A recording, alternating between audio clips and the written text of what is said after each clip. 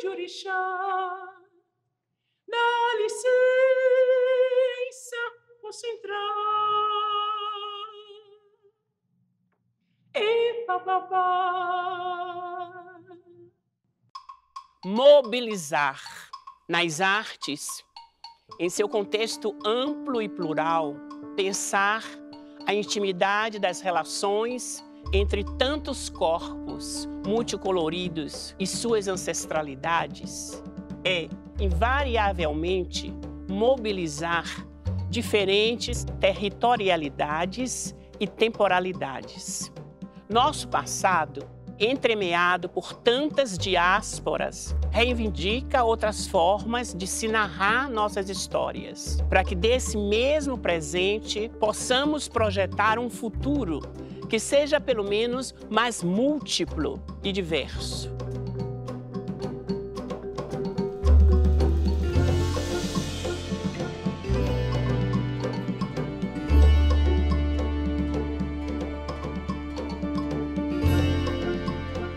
Inaicira, meu pai disse que era Yorubá, Inã, fogo, e Isira, indígena.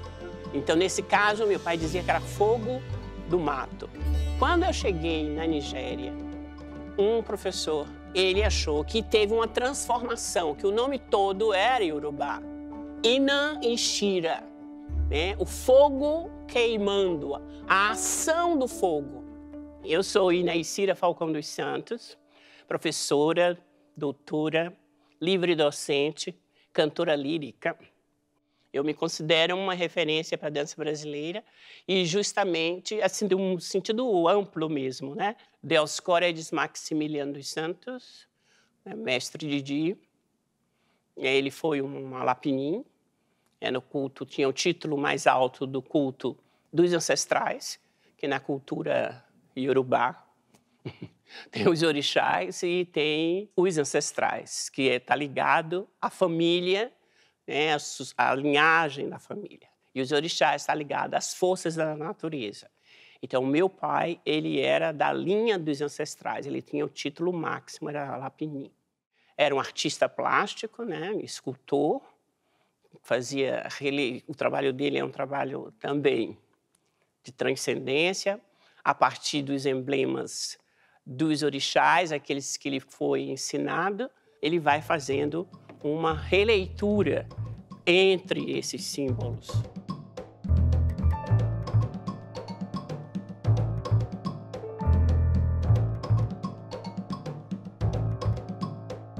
Uma pessoa negra com meu perfil é um perfil delicado, é um perfil que existem pouquíssima, essa como dizem uma, é um ponto fora da curva, dentro principalmente da academia.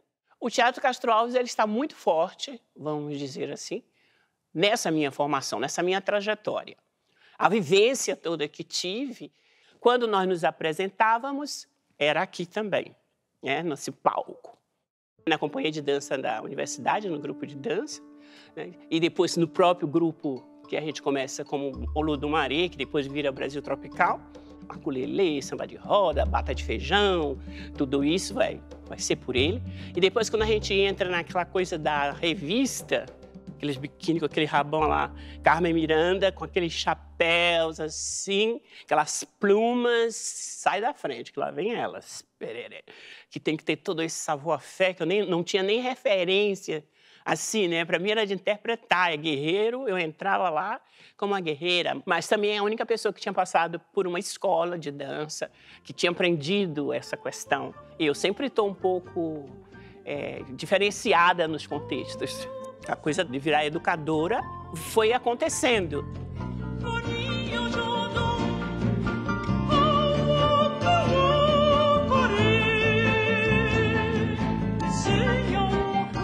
Eu sempre gosto de chamar a atenção da minha mãe mesmo, é de Valdina Falcão dos Santos, porque ela é que me conscientiza a relevância de estudar, né, do estudo, embora o conteúdo forte tenha sido da minha avó,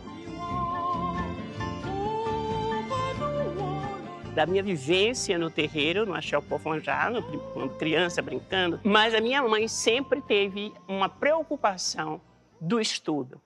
Então, dizia que essa seria uma forma, a arma para eu enfrentar essa sociedade. E isso foi um tempo, um dilema toda a minha vida quando eu vou escolher a arte, eu vou escolher a dança e não gostava e não queria dar aulas. Eu digo que as forças poderosas, eles mesmos e meus pais foram me foram colocando e que eu vou indo, indo, indo, indo e chego a ficar livre docente na Universidade Estadual de Campinas, no Instituto de Artes. Ou seja, o trabalho nasce de um questionamento meu de não ver a tradição africana, geralmente, na, nos currículos.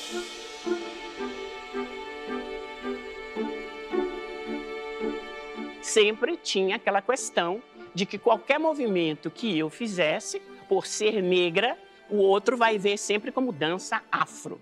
Eu acho que é mais do que isso. Quando eu chego, logo depois, vem Clyde Morgan, que é um bailarino negro americano, e ele fica aqui naquele tempo. Eu vou fazer disciplinas com ele.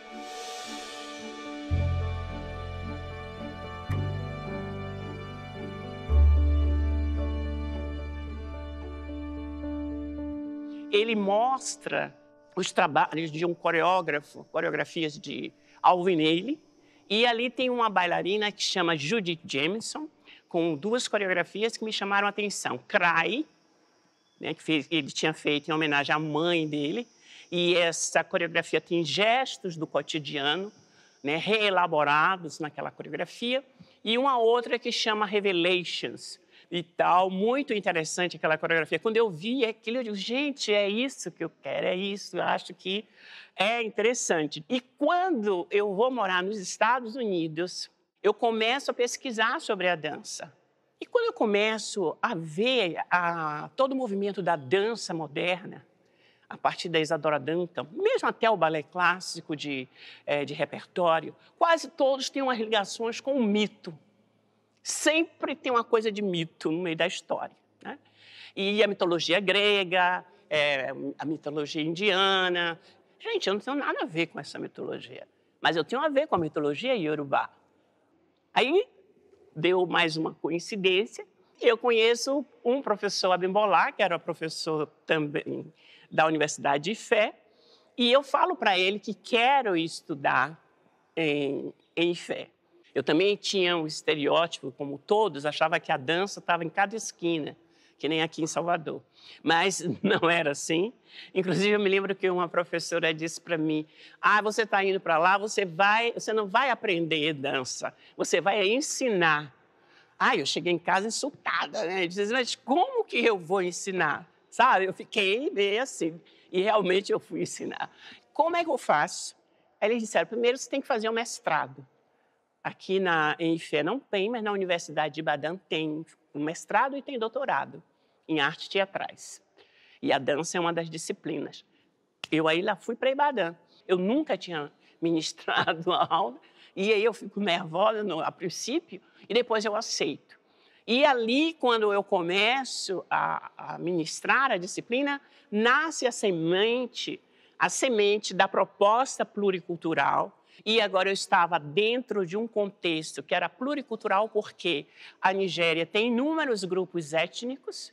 Né? Na sala de aula, cada um vinha de um lugar com suas histórias. E eu queria contemplar, eu contemplava as histórias deles, né? nos processos de coreografia, porque nessa pesquisa eu fui descobrir que os gestos do cotidiano, que essas danças do cotidiano, que eu vejo, que a gente vê muito nos terreiros, essas ações, é, tem a ver com o homem, o homem independente de cor, de credo, o homem ancestral. E então eu vou fazer no mestrado falar da, da coisa do terreiro, de tudo mais, e vou chamar a atenção para o uso do simbolismo, simbolismo e do mito. Né? E eu vou dar uma interpretação, porque o meu trabalho é como eu digo, eu estou ligada ao trabalho da arte, né, do papel desse artista.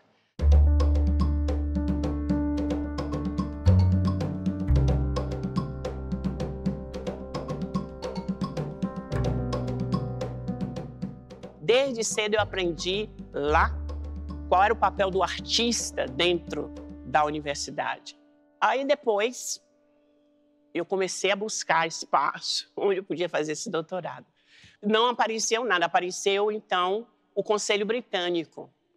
E eu tive a oportunidade também muito boa, porque eu tive a liberdade de, na defesa, eu poder cantar, dançar, né? empurrou as cadeiras para lá e Naicira soltou as frangas ali, cantando a Ian dela. Fui até Campinas, né? até Unicamp, fiz, como eu digo, uma audição, que eu tive que dar uma aula, e uma vez na Unicamp, a gente estuda é, a história do indivíduo. Quer dizer, as pessoas vão pesquisar suas ancestralidades, suas histórias, e trazer essas ações para a sala de aula. Quando eu vou ministrar essa disciplina na pós-graduação, eu botei primeiramente dança e ancestralidade.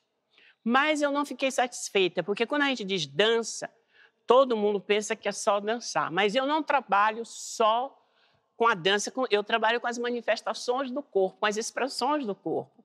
Por exemplo, meus alunos na graduação, eles avaliavam, autoavaliavam com uma obra de arte, com um desenho, com pegavam uma cerâmica, fazia alguma coisa, né? cantava, fazia poema por isso, aquilo, aquilo outro. E aí eu vou colocar corpo e ancestralidade aí o famoso dois pontos, né? Uma proposta pluricultural de dança, arte e educação. É uma epistemologia precursora de estudos criativos das artes do corpo para enriquecer o currículo em relação à cultura africana, né, à cultura negra. E depois eu tinha um grupo de pesquisa que chamava Rituais e Linguagens à Elaboração Estética. Então, esse, esse trabalho é, permitiu esse livro que fala de rituais e linguagens da cena, trajetórias e pesquisas sobre corpo e ancestralidade. Tais estudos geraram resultados que, quando inseridos na prática docente, encontraram eco e ramificações em trabalhos acadêmicos e artísticos realizados por todo o país pelos autores deste livro. Assim como eu via minha avó lá, as iniciadas, fazendo as danças, a comida, ralando o feijão na pedra. E aí eu disse: olha, eu faço com o movimento, porque quando eu pego ralar, né, e eu vou mudando a partir da dinâmica disso, aquilo, aquilo outro, que se chega em outra coisa. E essas ações estão nas danças folclóricas, muitas das danças folclóricas, e também estão nas danças pelo menos da nação Queto que eu conheci, e no Ilê Chipá, com os ancestrais também, toda aquela forma de se trabalhar com meu pai, que aí o responsável era mestre Didi. Uma base, né, uma referência muito forte. E que eu vou aí, ó, eu vou na ginga. Ginga aqui, ginga ali, né? Vou gingando e volta para o eixo e vamos. O estudo do espaço, o ritmo, a dinâmica, o tempo. Que você pega um movimento, você vai fazer mais rápido, extremelica, tudo essas qualidades que vai. A partir daí, você vai abstrair, mas você sabe de onde vem, você começa a fazer de conta que está amolando uma faca, pã. Então, o gesto pode começar aqui, daqui a pouco o gesto vai aumentando vai aumentando, pá. daqui a pouco vai para cá, já vai para lá, já vai para cá, já vai para lá, já, vai, já virou, já virou um ciclo. Então, isso está nos laboratórios. Eu, inclusive, mandava fazer laboratório. Vai para casa, vamos fazer isso. Já lavou uma roupa? Quer dizer, a gente ia trazer movimento do torcer. Como é que torce? Depois a gente compartilha, cria um vocabulário de torcer. Né? Porque existe, quer dizer, nas manifestações ainda né, seculares, assim como o cavalo marinho, tudo isso, né, que precisa, eu acho, que precisa ser mantida como são, né? Mas você pode, a partir dali, criar outras situações.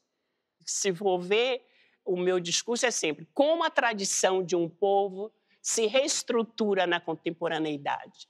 Né? Como ela pode ser reestruturada. Já não com a forma de dentro, por assim dizer, que aí é um outro departamento. A minha formação foi assim, né? desde a minha avó, ela mesmo tinha o dizer dela, porteira para dentro, porteira para fora. Então, a gente se alimenta da porteira para dentro, né? se inspira da porteira para dentro e vai criar, e vai fazer, que é o, o, o trabalho mesmo que eu considero a arte em si. A mesma coisa do canto, também a mesma coisa. Quer dizer, eu, eu faço uma experiência da técnica do canto lírico, e isso foi indo né, até que ah, chegou o centenário de nascimento de Maria Bibiana do Espírito Santo, no ano de 2000, que também era a comemoração dos 500 anos do descobrimento do Brasil.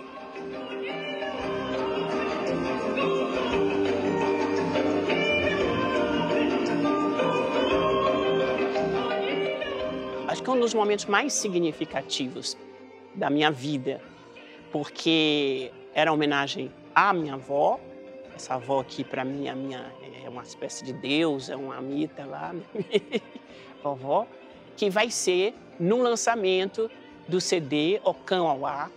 Ocan Auá significa nosso coração. Então foi muito lindo ver essa aqui tudo lotado, né? E, e, o povo até hoje diz: "Ai, mas que show lindo! Quando vai ter outro igual?" Eu digo: "Ih, não sei. Não sei se terá daquele nível."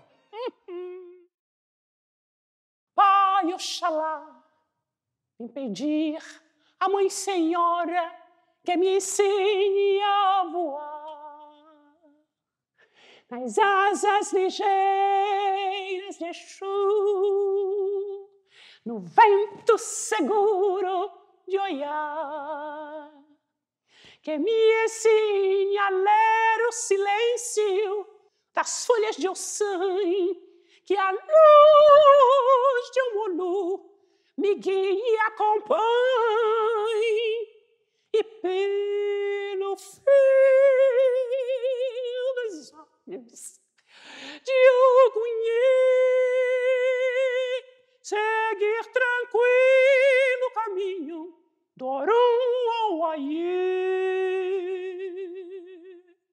Para mim era muito importante aquilo que a minha mãe falava, né? de ser independente, ter seu espaço. Sou negra, todo mundo está vendo, sou mulher, né? sou nordestina, na íntegra, inteira, hum, já assumidíssima, né? Porque realmente a Nigéria me deu isso.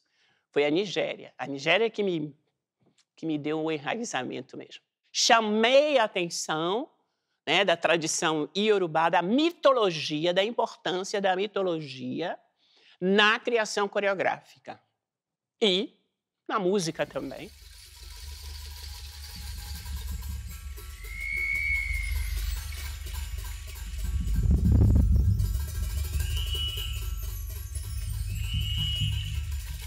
A novidade sempre fica por eu trazer algo que existe, mas num contexto que não existe. É como se fosse um certo pioneirismo. São pessoas que vêm adiante. Por exemplo, o meu pai, ele tinha preocupação que o idioma falado, esse Yorubá que eu falo, que é oral, tradição oral, se perdesse. Ele fez, em 1900 e bolinha, acho que é em 42, ele lançou uma espécie de um livrinho, uma caderneta assim, com todas as palavras, como era falada, e a tradução. Quer dizer, o primeiro bloco, por esse sentido da Foché, aqui, o primeiro é ele que coloca na rua, que não é da religião, mas o lado da brincadeira dos afoxés, com o pai Borocô, à frente do seu tempo. Eu gosto de somar, né? eu gosto de somar, eu gosto de, de ir além, quer dizer, né? eu acrescento lá e acrescento cá. É uma coisa assim, de troca mesmo. Articular mundos é um gesto ético, estético e radical de respeito às singularidades que estruturam qualquer coletividade, com as nuances e as sutilezas vitais para um bom conviver. Só a pluralidade da arte é capaz de inspirar e mobilizar tantas memórias, desejos e afetos em tamanhas intensidades.